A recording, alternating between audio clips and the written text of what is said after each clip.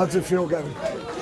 Five years. Fucking unbelievable. It's unbelievable. I'm secretly taking this. Oh. This is, for you especially, this must be amazing. I think a lot of people deserve this. Our fans, the organisation, Merritt Caleb.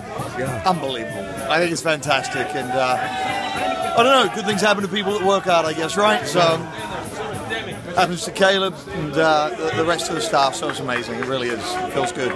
Now, I've been around your fans the last two days, as you can tell by my voice. Yeah. And everything went perfectly to plan with our tickets and picking each other from the airport. Yeah. Talk to Bosun. This is a well organised machine. Yeah, I think uh, I've got a huge staff on the soccer side, and I know Mike's got a huge staff.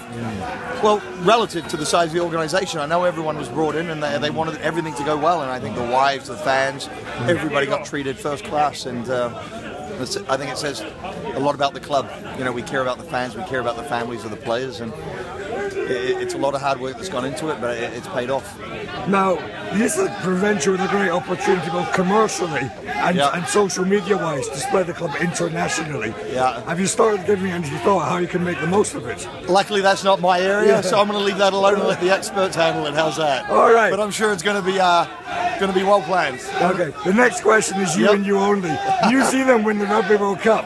Yeah. Timbers win the MLS Cup. Yeah. Can your life get any better? No, I don't think it can. I, I, my family's with me; they're, they're healthy, and uh, we, we've won a cup. And uh, the All Blacks, I'm proud of them as well. I care more about this one, though, obviously. So it's superb. The greatest year of your life so far? Ah, I've had a few, but I'll put this one up there for sure, buddy. Yeah, that's it. So one final question about the log. The log Yeah. deserves to be here, doesn't The it? The log, we're going to get it in somehow. We may just have to carry it over the stadium and get it in. I don't know. Are the fans going to wait out there so someone Ah. brings it in? We're going to go back out, I think. You're okay. Yeah. Well, that's fantastic. Let me. So,